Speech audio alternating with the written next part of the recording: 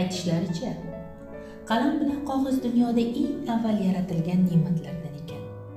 Shu bois ota bobolarimiz oppoq qog'oz va qalamga o'zgacha e'tibor bilan qaraganlar oq qog'ozni o'ziga o'xshagan pokiza so'zlar bilan bezab inson qalbiga sayqal berishni lozim tutganlar. Hayot kitobidagi har bir sahifa yaxshilardan ibrat olish va kasbkorni pokiza mehnatni qadrlash bilan to'lmog'i kerak ekan. Shu bois vaqtning qadriga yetish zarurni nozarurdan keraklini keraksizdan yaxshini yomondan farqlamoqda hikmat ko'p deydilar. Shoira gulondon tog'ayevaning yangi kitobi ana shunday hikmatlardan so'zlaydi. O'quvchini 17 yoshlilar olamiga boshlaydi. Assalom. Assalom yana assalom. Meni tanidingmi 17 yoshim?